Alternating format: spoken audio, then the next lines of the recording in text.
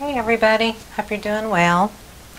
I'm going to do six 8 by 10 swipes. I've got a class coming up in two weeks and we're going to do embellishing acrylic pours. So I'm going to have the pours already painted and dried because some of these people are flying in from other states, some even from outside of the U.S. And so I'm going to just take a bunch of canvases that we can already have that are dried and then we're going to embellish it with some artwork. So I just want the background to be kind of neutral, a little bit grassy, leafy, naturey feeling because we'll most likely paint a flower or a butterfly or something like that. So I have Deco Art Paints and this is the Desert Turquoise. This is like a sky blue. I've got a little bit of their silver and pewter mixed together. Their festive green. This is the uh, peacock pearl mixed with the peacock teal. A tiny bit of copper, which I'll only probably put in one of the paintings. That'll be just enough for. I have the uh, cadmium yellow, the rich espresso, a little bit of metallic gold, but not a lot. It's not going to go in many either and I've mixed a dark Hauser green and added black and Prussian blue to it to get it really dark. That's what I'm going to swipe with. Some of these colors have OGX in them, some don't. I don't really care if there's a lot of cells because the feature is going to be whatever artwork we paint over the pour. And I will put some white in maybe as well. So I'm just going to go ahead and uh, trickle some of these colors on. And I'm just going to do it kind of randomly instead of across. I'm going to go up and down vertically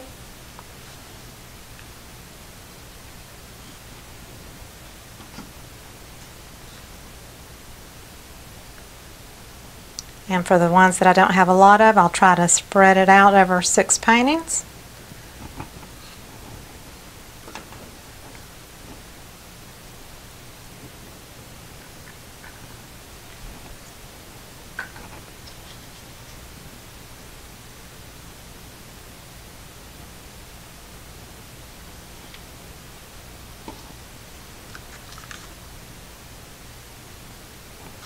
These are not all the prettiest colors, but like I said, the focus is going to be on the artwork and not necessarily the pour. So that's why I'm not so concerned that it's just like a really, really gorgeous swipe. And it may turn out just fine anyway. We shall see.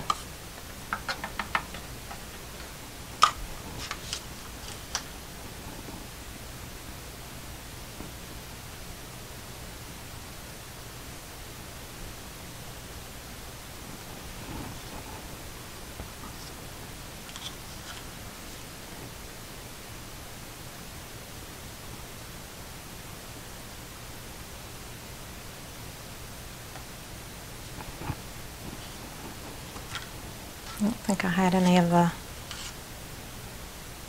well that was the color I used. I don't have any of the deeper color, the deeper desert turquoise. That's the one I'm missing.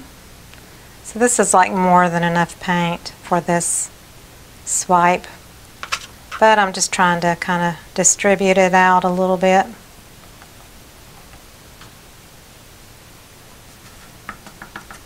Try to make sure your paints go kind of over the edges a bit. I'm going to trickle in some white.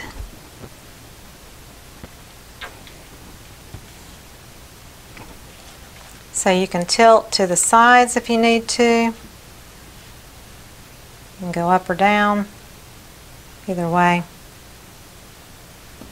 It's just really random. So I'm going to go across the top of the canvas with this almost black dark green color. And then all I need is one little section of a damp paper towel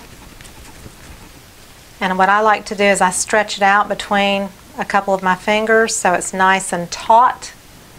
But it is damp, it's not wet, it's just damp and it's not dry. Lay it down.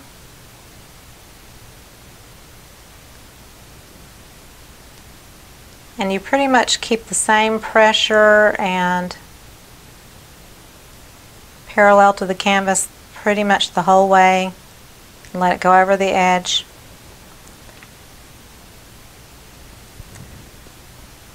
And then I just touch the edges with my finger to get any color that hasn't gone over the edge.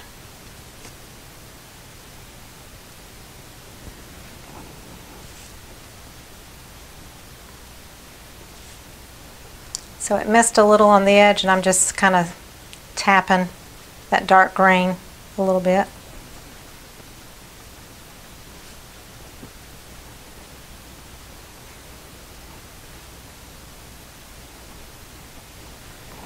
So it looks naturey, and that's kind of what I had in mind is I just wanted it to feel kind of naturey. Naturey, is that a word? I'm not sure. I, like I said, OGX was only in a few of the colors, but you see the cells, how they popped up. I can put heat on it. I'm just doing it on the area that it doesn't have the cells yet.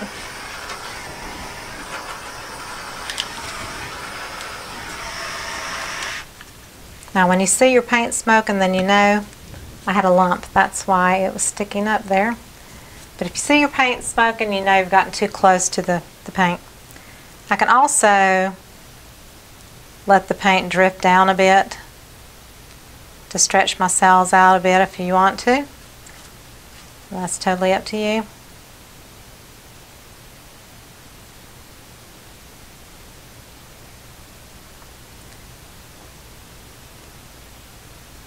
Like I said, the goal is to get coverage for a background. It's not necessarily the end result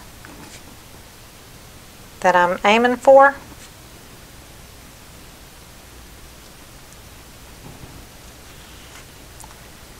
So I'm going to go these through these kind of quickly.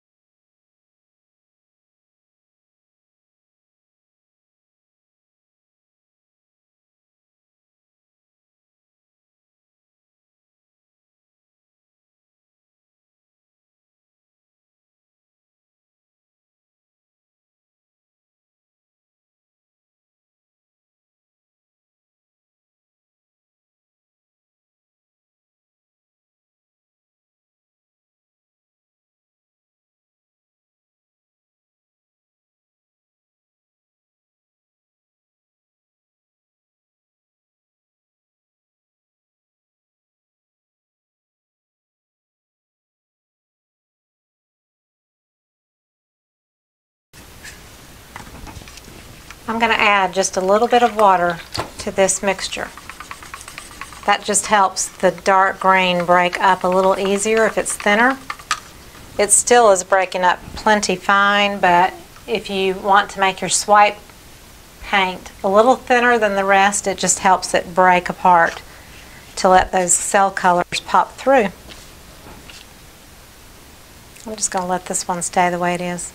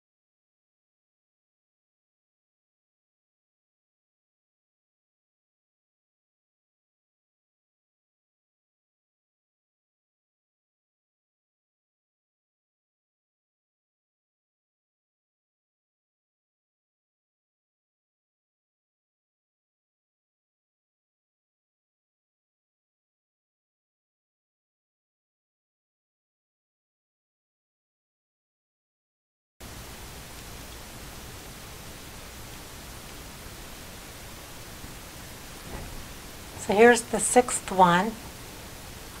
That even has a little bit of a linear look, which is totally fine, but I swiped this one twice. I had so much paint on it, which you don't need that much paint, so I swiped it a second time, and I have a boatload of paint on my table. So there's a ton.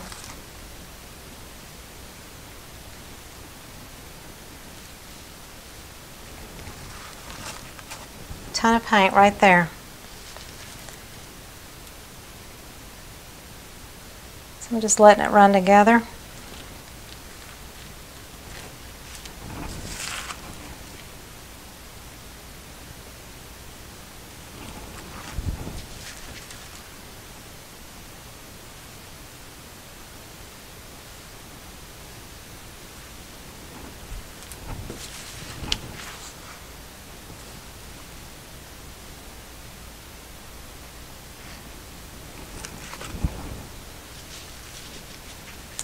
And this will make some pretty skins when it dries, so I'm going to leave it be. My dirty table, I didn't even try to clean it because it's time for me to change the, the butcher paper underneath anyway. So that was six swipes off of just leftover paints and just trying to get a naturey background to do artwork on after it dries. So they all pretty much look the same, just a little variation in each one. And I'll show maybe all six together when they're dried at the end of the video. So I hope you enjoyed it, and if you're not a subscriber, please subscribe. And if you liked it, give me a thumbs up. And then if you would like to get notifications, click on the bell on the bottom right and you'll get notifications when I post new videos. Also, check the links below the video where it says show more on your computer or the down arrow on your mobile device, and that gives you a link to Amazon recommendations and my Facebook group that has about 10,000 people in it, wonderful supportive artists all doing acrylic pouring and different kinds of art. It's a great place to encourage and lift each other up. You don't have to post your pictures, you know, if you want to just kind of stay in the background and see what everybody else is doing, you can do that there as well. You can feel comfortable to do whatever you'd like. I have a Thinkific platform called Embrace Your Creative Spirit where I teach those that want to learn how to paint with acrylics and brushes as a traditional way from the beginning to the end. And I've got at least 10 paintings and I'll be adding two each month from this point on. Those classes are $35 or if you join the subscription, you save a good amount of money.